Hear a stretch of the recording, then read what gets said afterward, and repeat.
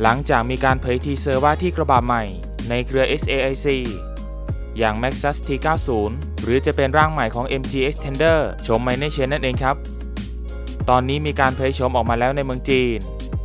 มีจุดเด่นในเรื่องการออกแบบดีไซน์ โดยเฉพาะภายในที่มาในแนวหรูหราพรีเมียม และเป็นครั้งแรกในวงการปิกอัพ ที่ใช้จอแสดงผลแบบคู่ขนาดใหญ่ และมาพร้อมขุมพลังดีเซลเทอร์โบคู่ 218 แรงม้า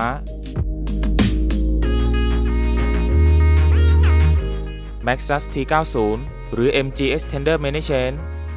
ถือว่าเป็นการเปลี่ยนแปลงครั้งใหญ่ เพื่อการต่อสู้ในตลาดที่เข้มข้นมากขึ้น เสริมภาพลักษณ์ให้ตัวรถมีความพรีเมียมมากกว่ารุ่นเดิม จะเห็นได้จากหน้าตาใหม่ รายละเอียดโคมไฟด้านบนสุด จะเป็นที่อยู่ของไฟเลี้ยว และไฟ Daytime Running Light LED ส่วนไฟส่องสว่างทั้งไฟสูงต่ำ ไฟตัดหมอกจะย้ายลงมาไว้คมด้านล่าง และโดดเด่นกับช่องดักอากาศด้านหน้าขนาดใหญ่ ซึ่งเน้นการตกแต่งด้วยโครเมียมทำให้ตัวรถดูแปลกและแตกต่างไปจากเดิมอย่างสิ้นเชิง ด้านข้างติดตั้งคิ้วซุ้มล้อใหม่ พร้อมยาง HT ขนาด 265-60 ล้ออัลลอยขอบ 18 นิ้ว และไฟท้ายใหม่แบบ LED เดินแถบสีแดงเข้ามาถึงฝาท้าย พร้อมชุดแต่งปั๊มโลโก้ Maxus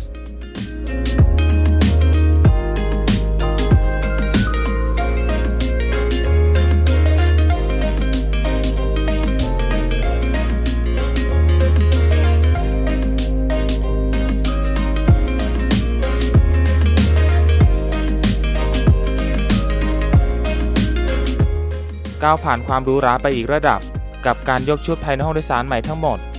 เพิ่มความ luxury ทันสมัยกว่ารถในระดับเดียวกัน ไม่ว่าจะเป็นพวงมาลัยใหม่ พร้อมปุ่ม multifunction ไฮไลท์สำคัญคือมีจอแสดงข้อมูล LCD แบบคู่ ขนาด 10.25 และ 12 นิ้ว คอนโซลหน้ามีการบุนุ่มและหุ้มหนังหลายจุดเบาะนั่งใหม่ทรงสปอร์ต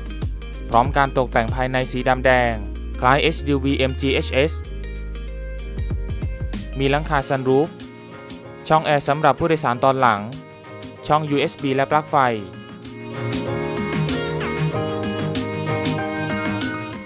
นอกจากนี้ยังมีความปลอดภัยขั้นสูง ADAS ทั้ง Adaptive Cruise Control รักษาช่องทางเดินรถ คุมไฟสูงอัตโนมัติ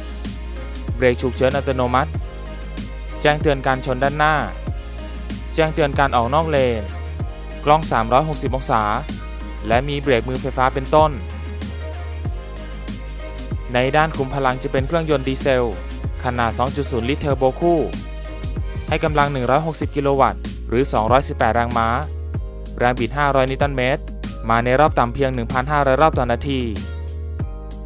ให้ความประหยัดโดยเฉลี่ย 12.6 กิโลเมตรต่อลิตร โหมดการขับเคลื่อนมีทั้ง 2H 4H ออโต้และ4 Low